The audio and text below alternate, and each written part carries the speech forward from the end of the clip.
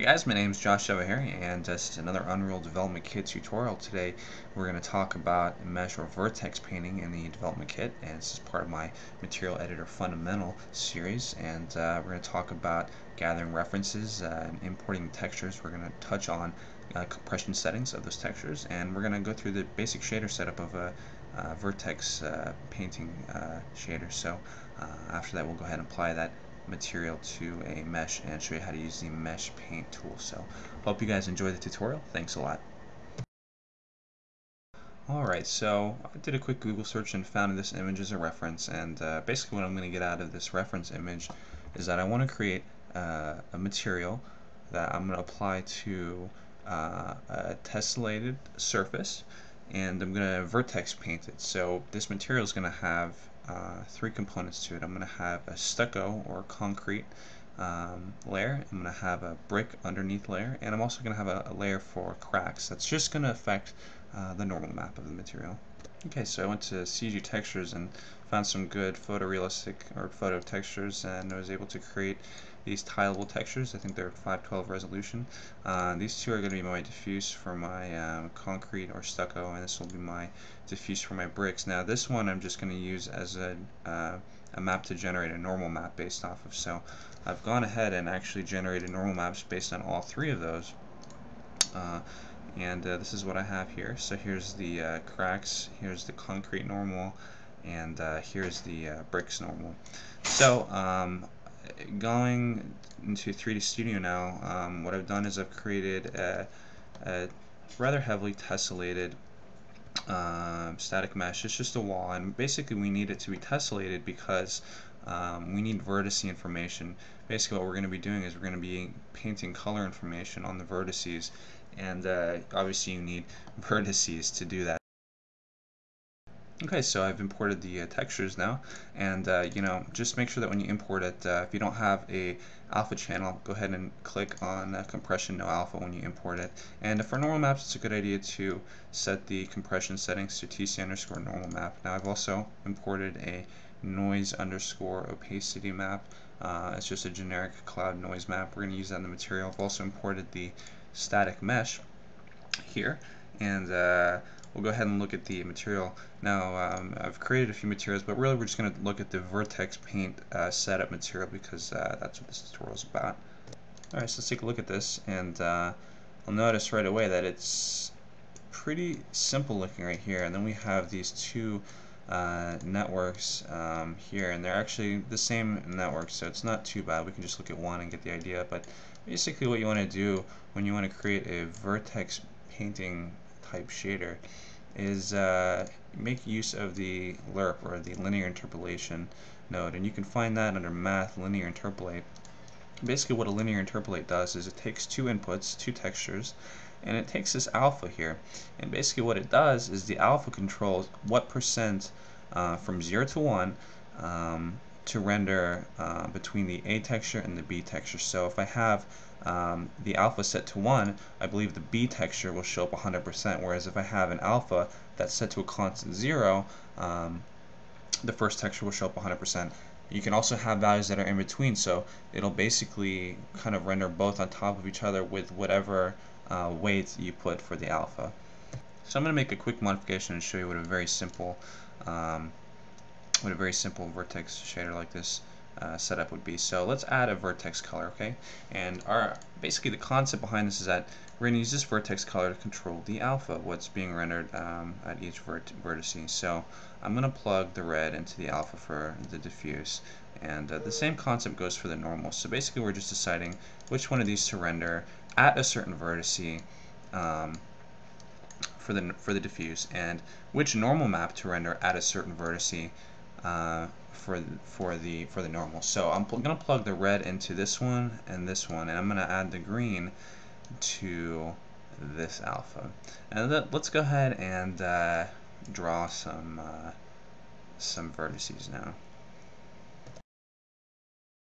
So I'm going to uh, up a quick scene here with my uh, uh, mesh that I've imported and I just threw a couple of them into this uh, blank map here. I'm going to go ahead and select this mesh and select the mesh paint mode tool and uh, notice that I'm on RGB mode and I'm just going to go ahead and paint some color onto this mesh now and we'll see what happens. So I've uh, made the radius pretty big and I've added the strength to 100%. Uh, so you notice that I can paint colors onto this mesh now. If we go to view off, you notice that basically what happened there is I'm turning off this normal map here.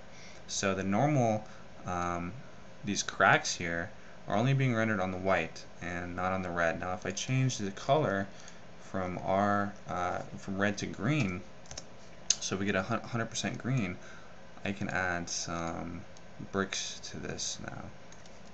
So really the important thing to notice here is that um, it's blending, you know, basically uh, in, interpolating from 0 to 1 between the vertices and it's just kind of blending them nice and smoothly.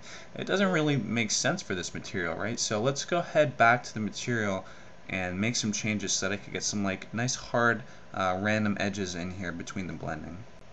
Okay, so I'm going to get rid of this vertex color and I'm going to basically show you guys uh, this structure here. So I've basically added the vertex color over here and I've uh, pulled it into these two networks here. And uh, the networks are the same um, with the only difference uh, being that I'm pulling the green to the one below it and the red channel of the vertex color node uh, to the top.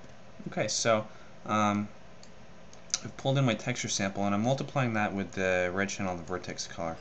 Uh, I'm pulling that out more by multiplying it by a value 4 and I'm adding that again to the red vertex color. Now this is kind of the really important part um, because now we're going to um, take that to a power uh, and I've created a, a, parameterized version of this and I've clamped it from 0 to 1. Now this is a method from uh, a guy called uh, Chris Albeluhn, so I have to give credit where credit's due.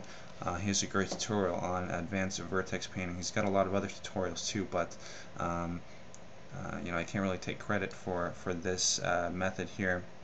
And this is going to give us some nice hard uh, edges. So um, I'm going to pull this into the uh, alpha for the red, uh, where I want the red painting to go and uh, which are these two and then uh, I basically duplicated this setup here uh, pulled the greens into it though and I'm going to pull that right into the alpha for my second layer of, uh, of uh, the lerp.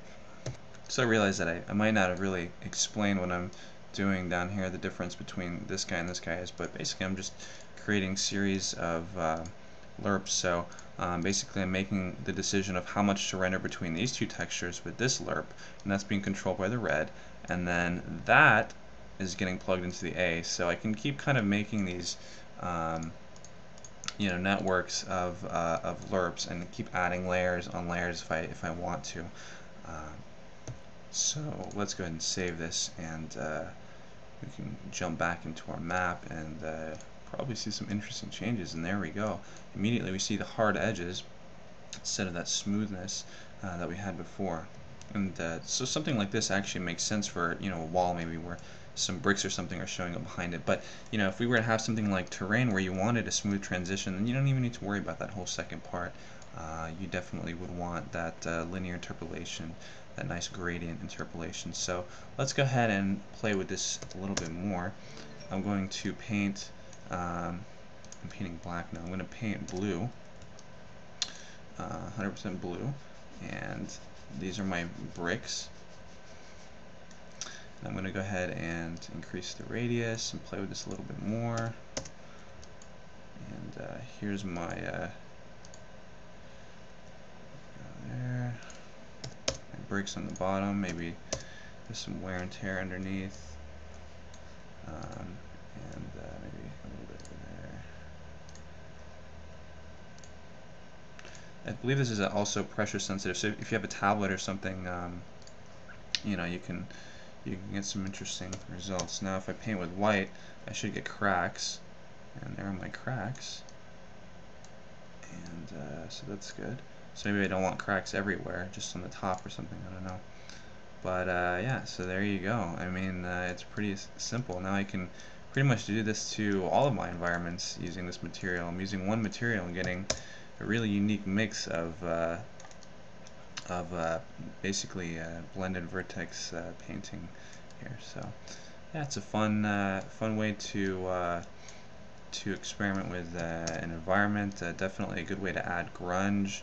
Um, and yeah, I don't know what else to really say about it. I hope you enjoyed this tutorial. It's a pretty quick and simple one. Um, again, please visit that guy's uh, website if you like this tutorial because he's got some of the pretty cool stuff. And uh, yeah, so feel free to uh, follow me on Twitter. And again, questions, comments, always welcome. Uh, this was another user requested tutorial, so thank you.